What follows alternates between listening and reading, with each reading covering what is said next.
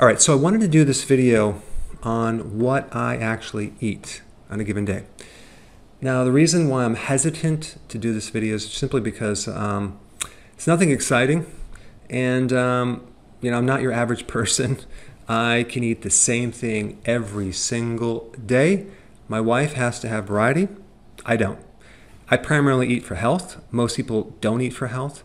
So realize when I tell you this, this is just what I eat. You can eat whatever you want to eat, just make sure it's keto friendly. When most people start keto, um, they do need desserts, they need variety to keep it interesting. So uh, realize this is just uh, a kind of a, an example of what I eat. Now, presently, I eat one and a half meals a day. I'm going to tell you why. Um, I would normally eat one meal a day, but if I do that, I tend to lose a little too much weight. Um, and it's very difficult for me to consume the amount of calories in one meal, so I kind of spread it out.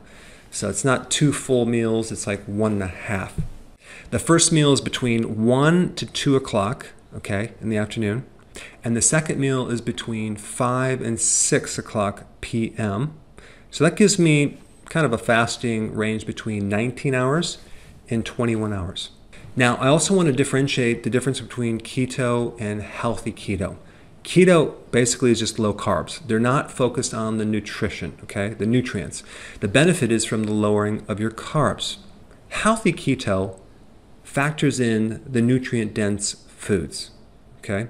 And this is why I recommend the healthy keto plan with this X factor called intermittent fasting. Seems to work great on pretty much everyone. All right, what do I eat in the first meal? I consume a combination of protein and fat mostly. Uh, some vegetables, but not too much. I may do four eggs with onions with some fermented veggies. And so I get these fermented veggies from the farmer's market. Sometimes I get them from Amazon. I make sure that they don't have sugar in them. I might also do asparagus, um, and I'll just have that raw and I'll just chew on like maybe five, uh, five little stalks of asparagus. Now realize someone um, took my video out of context and they said, um, Dr. Berg eats all this food in one meal, which is not true. So when I give you these examples, you're not supposed to add them up. Okay, I don't eat all of these. This is four eggs, onions slash fermented vegetables, or hamburger, half a pound, but not both together. Okay, so I just want to clarify that. Now I consume a lot of hamburger. Why?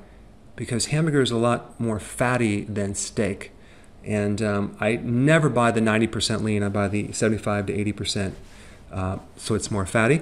I'll consume about a half a pound with sauerkraut. So that would be my protein. I make sure that it's grass fed, grass finished, and a bit fatty. I do buy a lot of my hamburger from US Wellness Meats. Um, not, I don't get any commission off that, FYI. Now, another option I might consume, especially if I'm in a rush, is summer sausage. I found one that has less than one gram of sugar, okay?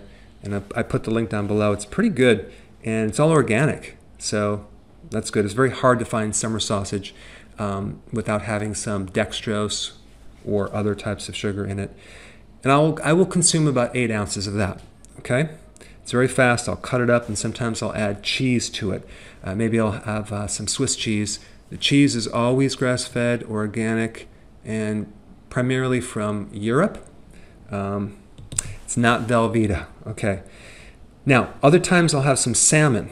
I'm very, very spoiled with salmon because sometimes you get this salmon that is old or it's, um, if you go to a restaurant, it's overcooked and it just doesn't taste that great. So um, I make my own salmon and I just uh, fry it with olive oil, put sea salt and pepper, and then I'll put um, mayo. Um, I, I like the Primal Kitchen mayo because it doesn't have any sugar and the oil is avocado oil, and that's what I'll consume. And sometimes I'll add olives to my meal. I like olives. So that's pretty much what I eat. Now, right after the meal, I might add some pecans because I might not be satisfied. So maybe a handful of pecans. Uh, sometimes I'll, I'll do celery and peanut butter. The peanut butter is organic, Valencia, salted. I get that from Trader Joe's. Uh, I've done videos on that. It's a pretty good peanut butter. And sometimes I'll add a little chocolate. Now, of course, this is sugar-free chocolate. There's a lot of different keto-friendly chocolate uh, things out there. Um, the one that I like now is just with chocolate and stevia. I'll put a link down below of a few. You may not like these because when you sweeten chocolate with stevia, it gives you this little aftertaste, which I don't seem to mind. Karen won't consume it, so she does Lily's chocolate, which is um, a little bit tastier, but I find that that throws off my digestive system. If I have chocolate with just stevia, it doesn't bother my digestive system at all. And I'll just do like three ounces of that chocolate. Okay, so now that's the simplicity of what I eat um, for my first meal. Second meal, all right, I will primarily start with the veggies, okay? Usually eight cups of salad, sometimes seven, sometimes 10, um, but it's this bowl of salad. I'll start eating that. I like to use arugula or a greens mix from the farmer's market simply because sometimes the salad that you buy at the grocery store is just completely empty. The ideal situation would be to have you consume salad from your own garden. I'm going to do some videos on that. That would be the best thing because you can control how much nutrition that's in that salad. I really believe that people do not like salad because they've never tasted really good salad grown on really good soils. So I highly recommend you seek out some good salad so you can taste what it normally should taste like, okay? Now I put some sea salt on my salad. I might add avocado, maybe some nuts, but not too many other things. I use a lot of olive oil, uh, but not your regular olive oil. I get my olive oil from Italy.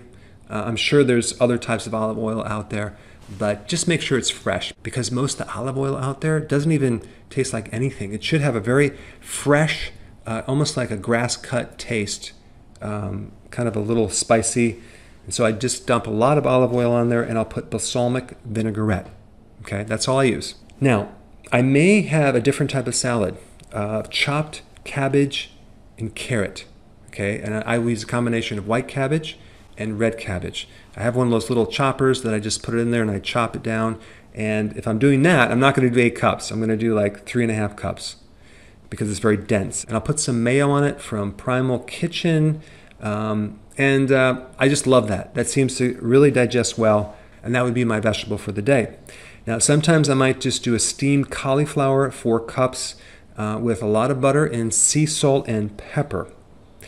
All right, do I add any protein? Occasionally. Sometimes I'll do like a half a can of cod liver, not cod liver oil, but cod liver. You can search it, it's out there, it's pretty awesome. Most of it's wild caught, and it's not bad tasting, and it's very high in fat, and it has some protein in there. Not too much.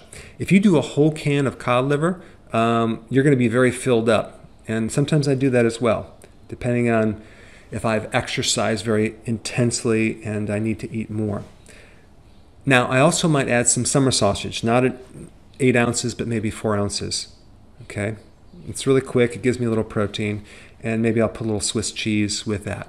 Uh, I may add some pecans. I may add celery with that peanut butter I mentioned, um, just until I'm satisfied. Okay, so that's pretty much what I eat. Now, what do I fry the eggs in?